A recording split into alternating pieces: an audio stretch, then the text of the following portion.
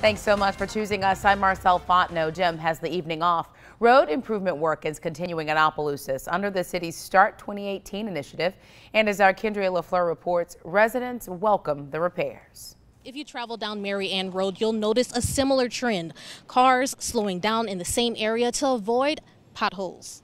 It floods a lot and it's constantly like there's always potholes in it people constantly have to stop to let other traffic go. It is kind of inconvenient, you know.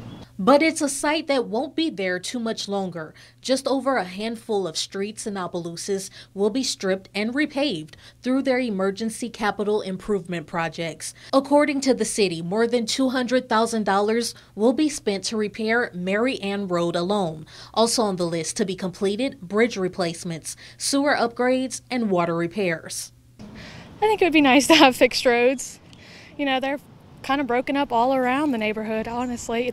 I just think it would be nice to fix them, you know.